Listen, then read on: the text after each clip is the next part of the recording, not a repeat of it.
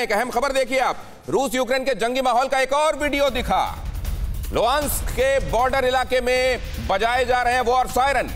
लोहांस्क में war siren बजाकर लोगों ने किया एक दूसरे को अलर्ट। लगांस की सीमा से लगे इलाके में हो रही है गोलाबारी। पूरे इलाके में कभी भी युद्ध जैसे हालात। अब सवाल यह है कि अगर इस बार चीज़ें उतनी ज़्यादा लार्ज स्केल पर नहीं गई तो भी क्या डोनबास के इलाके पर इस बार वही ग्रहण मंडराने लगा है जो पिछले बार क्रिमिया पर मंडराया था? 2014 में। जरा यह भी समझूँगा, बहल साहब से स्पेसिफिक क्वेश्चन लेकर जाऊँगा, लेकिन उससे पहले जरा ये देखिए। वर्ल्ड वॉर टू के समय किस तरह की स्थितियाँ बनी थी, वो जरा देखिए। वर्ल्ड वॉर टू के समय क्या स्थितियाँ बनी थी और फिर वो कहाँ गई आपके सामने है? उस समय क्या हुआ था? उस समय जर्मनी इस बात से वर्साय संधि की कठोर शर्तें, जर्मनी का उसको लेकर रुख पूरी दुनिया जानती है। आर्थिक मंदी पूरी दुनिया को और इस समय के हालात पैंडेमिक के बाद पूरी दुनिया में किस तरह के हैं, आपको सबको पता है। तुष्टिकरण की नीति, यही कि जो मेरी शर्तों के हिसाब से, मेरे हिसाब से, मेरी सूटेबिलिटी के हिसाब से सही है वो कितना भी गलत हो एक्चुअली उसको मेरी तरफ़ से सर्टिफिकेट मिल जाएगा। अभी जिस सर्टिफिकेट की हम बात कर रहे थे और जिस बारे में कपिल साहब भी कह रहे थे कि कुछ एक कंट्रीज़ ने ये ये ठेका ले रखा है कि वो जिसको जिसको जो उनकी सूटेबिलिटी में सही होगा, उनके हिसाब से उस, वो एकदम हीरो होगा और बाकी एकदम विलेन हो जाएँगे। उस समय की स्थितियों में वर्ल्ड वॉर वन में क्या हुआ था? अब इसको थोड़ा इलेबोरेटेड देख लीजिए। वर्साय संधि की कठोर शर्तें। वर्ल्ड वॉर वन में विजयी मित्र राष्ट्रों ने जर्मनी के भविष्य का फैसला कर लिया था। जर्मनी को वर्साई की संधि पर हस्ताक्षर करने के लिए मजबूर कर दिया गया था और संधि के तहत जर्मनी को युद्ध का दोषी मानकर उस पर आर्थिक दंड लगाए गए थे सैंक्शंस लगाए गए थे। जर्मनी के प्रमुख खनिज और औपनिवेशिक क्षेत्र को कब्जा कर लिया गया था। उसके बाद महामंदी पर चले आइए, आर्थिक मंदी पर चले आइए। 1930 के दशक में यूरोप एशिया में महामंदी का असर पड़ा था। यूरोप की अधिकांश राजनीतिक शक्तियाँ साम्राज्यवादी बन गई थी। संसाधन संसाधन संपन्न देश जापान प्रशांत क्षेत्रों में नियंत्रण के लिए अटैक करने लगा था। तुष्टीकरण की नीति, हिटलर ने खुले तौर पर अब तुष्टीकरण की नीति देख लीजिए, हिटलर ने खुले तौर पर वर्साई की नीति वर्साई की संधि का उल्लंघन किया। जर्मनी की सेना और हथियारों को सीक्रेट तरीके से वो बढ़ाने लगा और 1938 के म्यूनिक समझौते को जर्मनी ने तोड़ दिया। चेकोस्लोवाकिया के बाकी हिस्से पर आक्रमण कर दिया। जापान भी व्यापार में अमेरिकी प्रतिबंधों से काफ़ी परेशान था।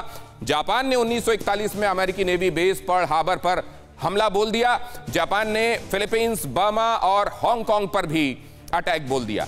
तो ये जो स्थितियाँ बनती हैं और ये ये जो कैस्केडिंग इफ़ेक्ट होता है, किस तरह की परिस्थितियों से हालात बनते हैं और आज के हालात, तब के हालातों ने क्या पैदा किया था? वर्ल्ड वॉर टू आज के हालात उनसे कितने मिलते जुलते हैं और क्या स्थितियाँ उधर बढ़ रही हैं? प्रोफेसर कपिल कुमार।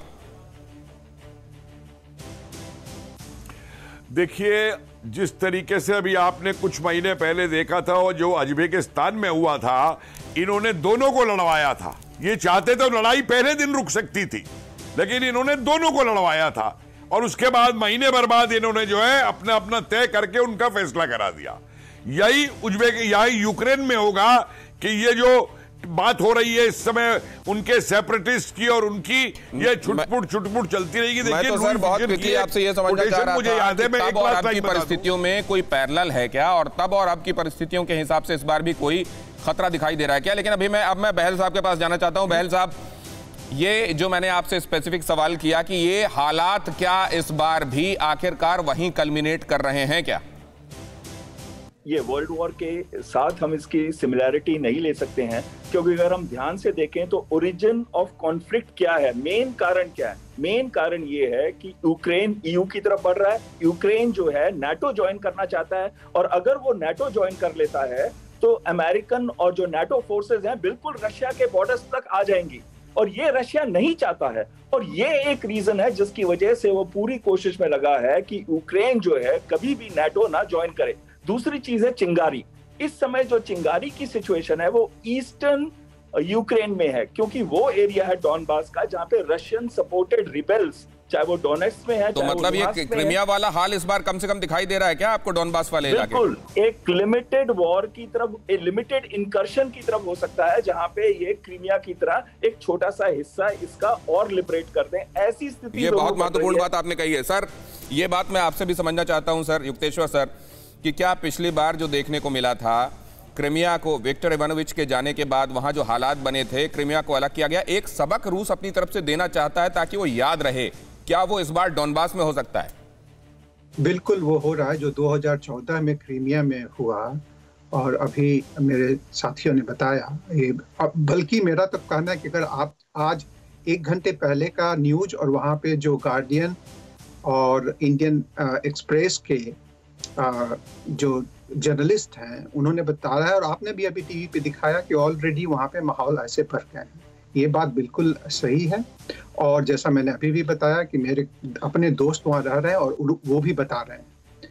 तो बिल्कुल सही बात है कि ये बात भी सही है कि वर्ल्ड वॉर टू की तरह नहीं हो पाएगा, लेकिन जिस तरह के ये बन रहे हैं और पुतिन का ये एक तीन उसमें बन सकता है, तीन तरह की बातें हो सकती है। मैं जल्दी से बता सकता हूँ एक तो ये कि पुतिन चाहते हैं कि अपना कोई जो आदमी है जो हम्म। पूरी की पूरी रशिया के सपोर्टर हैं उसको वहाँ पे बैठा दे वो यूक्रेन में कीव में जाकर के।